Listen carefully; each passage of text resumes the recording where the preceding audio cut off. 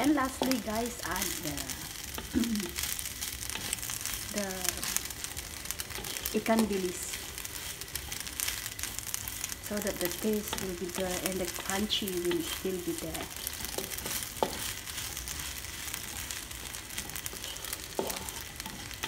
Okay guys,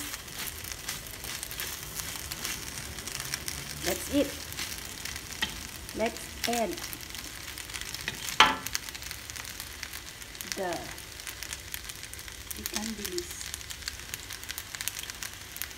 Okay guys, this is it.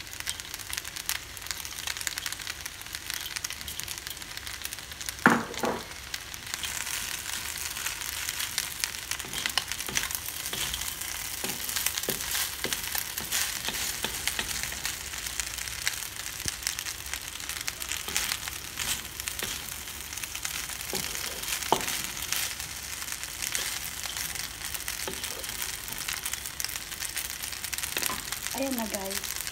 Okay na siya. Gusto niyo pong add ng